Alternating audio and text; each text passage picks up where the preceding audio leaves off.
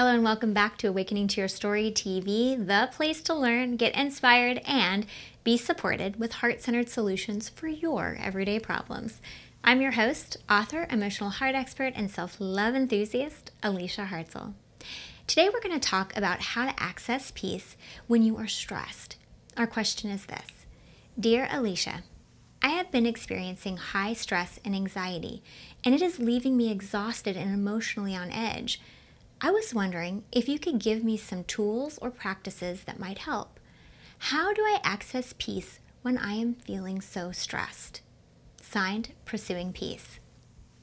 Now, I could tell you to take some time and deeply breathe, to take off your shoes and to plant your feet in the ground, to go out in nature and look for all of the beauty, or one of my favorite stress reducers, to meditate. In the Awakening to Your Story book and the starter kit, we even use positive cellular memories to help you access those feelings on the other side of stress and anxiety. Now, all of these things allow you to insert a shift in focus and slow down the momentum of the stress and anxiety. Choosing methods like these can be very powerful ways to find relief from your symptoms. But what happens when that momentum behind the stress doesn't seem surmountable? Well, let's take a deeper look at the big picture. Let's start by looking at the object of your focus that's stress and anxiety. The usual instigator of stress and anxiety is fear. When fear creeps in, it relentlessly pulls your focus. Fear holds many different kinds of voices that run through your mind. And before you know it, you think those voices of fear are telling you the truth, when really they are just echoing the limiting beliefs that have been picked up along the way. Now, these limiting beliefs are fueled by fear and breed worry and anxiety, all the while working to convince you that you are not enough, you're not worthy or able. Here's the thing about fear it will always act in resistance to love. When you are in alignment with the divine source energy of love, all resistance falls away and you find yourself in flow and in harmony with that energy of life. This divine source energy of love was woven right into your humanity by your divinity, and it acts as your inner compass, always calling you back to that place of love and truth. Now, here are a few telltale signs that you will recognize about love. It is filled with synchronicity. It is filled with soul tickling experiences and open doors and tangible freedom of the heart. Love holds all of your essential truth, and it always serves your higher good, and it is always an option for you. And this is where you find the peace that you were looking for. It is fundamental to you, and it is woven right into your being along with all of that divine source energy of love. Now, fear contradicts all of these things. And layers of limiting beliefs on top of that make it even harder to access. When left unchecked, fear and those layers of limiting beliefs can create a focus that can make it really hard to find the peace that you're looking for because it feels out of reach. To access peace, you have to find your way back into that alignment to the source energy of love. Now, there are endless ways to do this, but here are five tools that I think will help you. Tool number one is the stream kayak principle. Now, we look at this principle a lot in my first book, Awakening to Your Story, which can be found on Amazon.com. And we also find it in the Awakening to Your Story handbook. It's actually a deep dive into this principle and offers you tons of exercises to help you fully utilize it. And that can be found on the website. But here are the basics of the principle life is a river that flows in one direction, downstream. The current of the river of life is that divine source energy of love.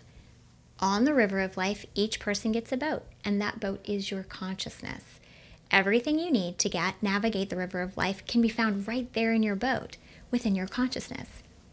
Now, knowing where you are in relationship to the river and your boat helps you identify the challenges for what it is.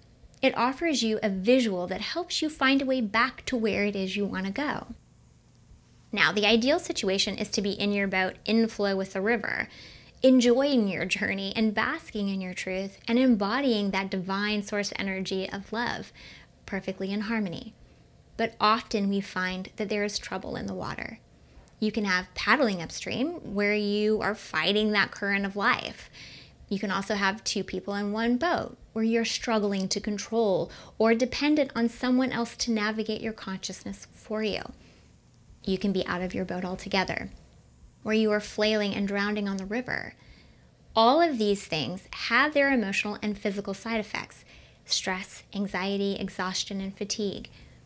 In any given experience, if you can pause and find where you are on the river of life, you can plot your way back to the ideal position.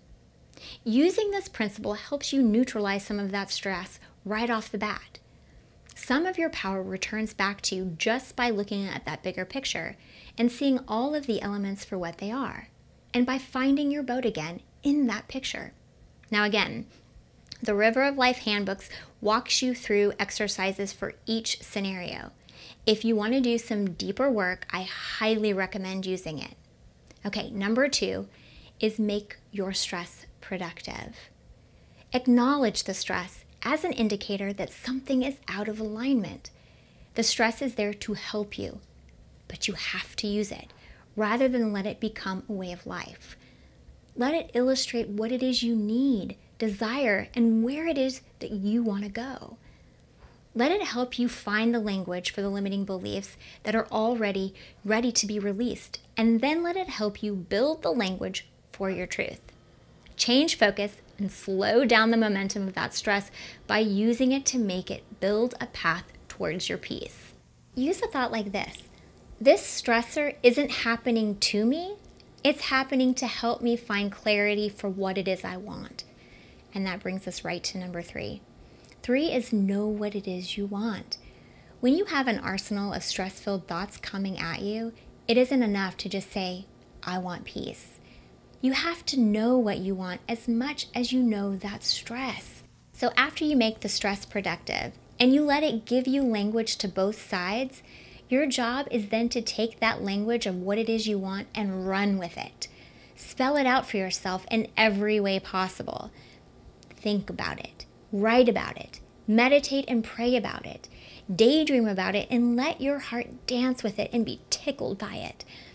Spending time building a connection to how these desires feel and what they offer you not only gets you back into your boat, it helps you connect to that source energy of love and truth. And as you do it, it builds up your focus. And that brings us to number four the power of appreciation. Appreciation can help you get right back into your boat and have it pointing downstream almost instantaneously. In the midst of those stressors, just start calling out the things that you appreciate. Count them down. Even if you have to start by putting yourself in a timeout and closing your eyes and putting your hands on your heart and just breathing. I appreciate my breath. I appreciate my heart beating. Then Move outward and appreciate anything and everything that you can think of in a rapid fire style. This shifts your focus and allows you to plug right into that source energy of love. Then just keep reaching for appreciation one thought at a time. Number five, your thoughts are tools too. Not only are they tools, they are your greatest tool because your thoughts literally build your reality. So keep reaching for thoughts that feel better rather than replaying the old ones that are tied to the limiting beliefs and fear.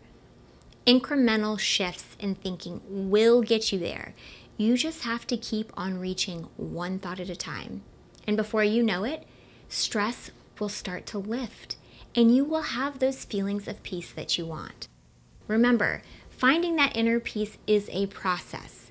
But no matter where you find yourself, it is always an option. Just keep noticing your thoughts and if they are fueled by love or fear. Then keep reaching to build up the ones fueled by love. You can do this. I know that you can. And know that until next time, I am holding a place of love for you where your inner peace, well, it's undeniable. For more support, information, and inspiration, Join me at awakeningtoyourstory.com.